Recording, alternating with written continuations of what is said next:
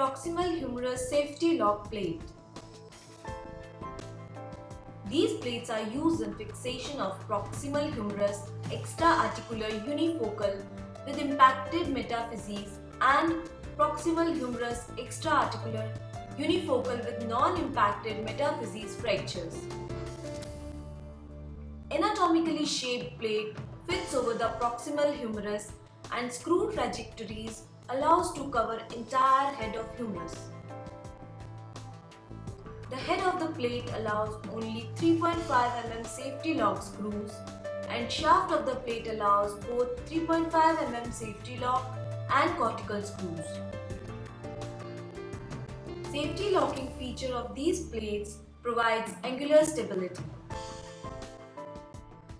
These plates are available with number of holes varying from 5 to 8 and are available in stainless steel and titanium.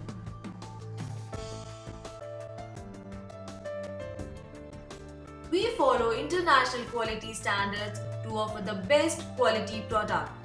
While manufacturing, every minor technicality is taken into consideration.